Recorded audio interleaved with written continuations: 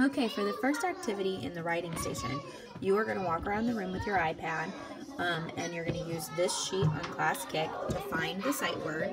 Then, however many letters it has, you'll write it in that column. So, this is the word this.